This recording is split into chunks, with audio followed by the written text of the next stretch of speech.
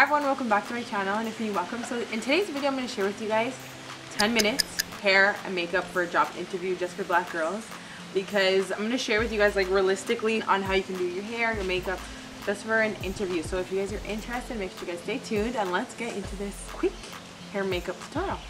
Okay, so we're going to start off with hair.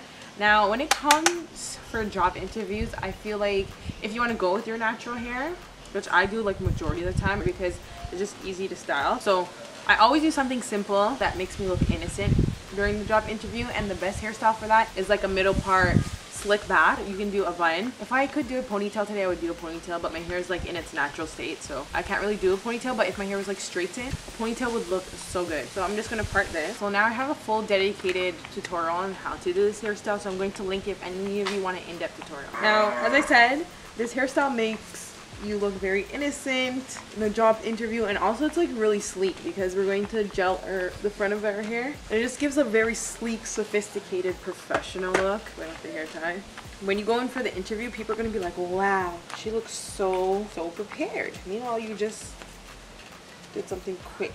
Now i don't i don't really put my bun together properly because i have to go in with the gel first. Oh and the gel i'm going in with is Morfose Ossion professional hair gel wax. This is a number three though. I'm supposed to be using number nine for my hair type, but this is the one I have, so I just use. Yeah, and regardless what people want to say, your appearance matters like so much for interviews, but when people call you back in for an interview, they like your resume and they just want to see how you are in person, the way you interact, your communication skills and everything along those lines. Okay, so basically this is how it looks after I am semi-gelling my hair. This is like the first round and this is my struggle brush that I use. Guys, this is 10 minutes. 10 minutes, but you still want to look good.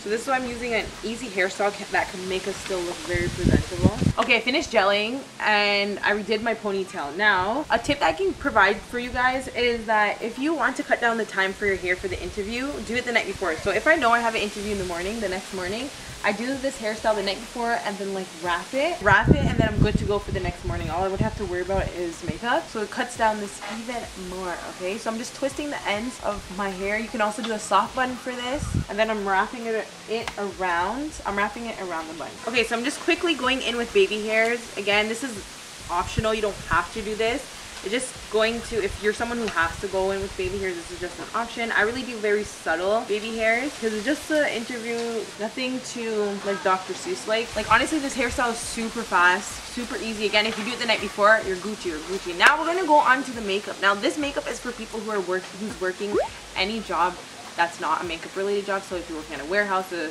grocery store, a retail job, this makeup tutorial is perfect for you. I always use this. I use this for every single, if you're working an office job, because I even did this makeup tutorial when I applied for my policing practicum, okay? So this works, this is perfect, it's so easy, super simple, okay? It's literally like basic makeup. And when I feel like when it comes to doing your makeup and stuff, just do something that just enhances what you have, if you want to, if you want to, okay? So we're gonna go into that. And a tip is like, if when you're doing your makeup, you can tie down your hair as well. I look like already put together. Or maybe my hair can be a little bit more sleek, but the girl don't have. The girl don't have. Okay, so I put on my primer and I let my primer sit in. So now I'm going in with my eyebrows. When it comes to interview, if you're getting called in for the interview, that means they already like you. What they're trying to look for in person when they see you is your hygiene, your communication skills, and your appearance, okay? So make sure you guys have that on point. And if any of you need hygiene routine videos. They're on my channel. So you guys can watch them. I have like oral hygiene, so like your, the way your breath smells. And then body hygiene. Okay, I have makeup tutorials, but I'm showing you guys one here. I have hair tutorials, how to make your hair smell good. Okay, so as you can see, I need to do my eyebrows, but this is what I'm doing with my eyebrows. Something simple, just regular, you know, I'm going with the correct color for your eyebrows. Okay, we're just, we're just, we're just doing the typical steps right now for makeup. Again, you just want to do like, and we're going to skip some steps as well because, again, it's 10 minute makeup.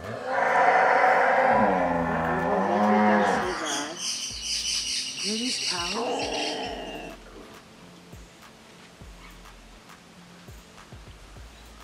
Honestly, for interviews, all they want to know is that you look decent, you're a decent person. Let's be real. You're clean, you have great communication skills, interpersonal skills, can they connect and vibe with you?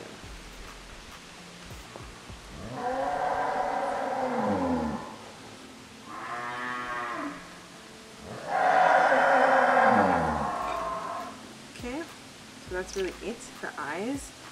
I put mm, I put glue on my eyelashes so they're just dry. So we're going to proceed on to foundation. So I'm just going in with my Fit Me foundation matte and poreless like I always use. But the thing is, we're just again, you guys can even go like a BB cream if you're not someone who wears if you're not someone who wears makeup in that way.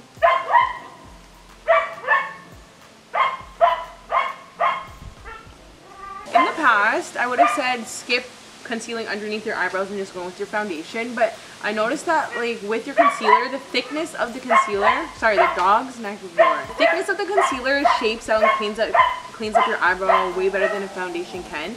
So I always ensure that I go in with a found, uh, concealer then foundation for around for underneath my eyebrows. And we're done. I'm just joking, imagine. And the guys, I always say this in every single makeup tutorial. Bring the foundation down so your face can look seamless and so your makeup can look seamless as well. Okay, you don't want your face to be flawless and then you can tell the difference as soon as you look at the person in the back.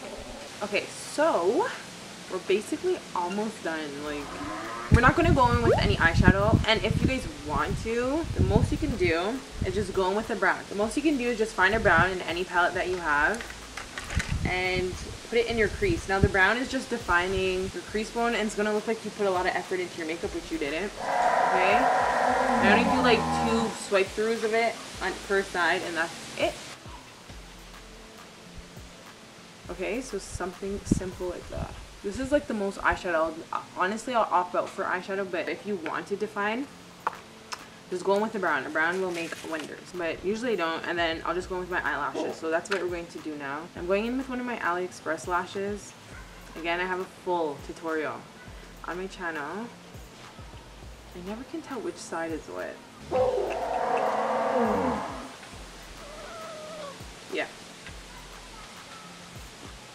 Honestly like like basically all of them that I receive. Okay, whenever I know that I'm doing a simple basic makeup look, I always make my eyelashes the focal point in my look. When I go to interviews, I always have like glam lashes on because they draw in your very basic simple makeup look because you don't have a lot going on on your face, right? So I feel like the eyelashes just like Wow. Okay, so we're going to skip a step. So usually when in my routine, I always do cream contour and highlight and then I go with my powders. But again, it's 10 minutes, so we're to go straight in with powder. So I'm using the Sacha Buttercup setting powder to just set underneath my eyes. You guys are to have to skip steps. I still do like the mandatory ones. Okay, I'm just setting where I usually set on my face. T-zone underneath my eyes. And then whatever is left on my brush, I just bring it down. Okay, and I do it very light. So next, going in with my powder for my contour areas, okay? And I'm just gonna add more dimension back into my face with my darker powders. And then I bring the rest onto my neck.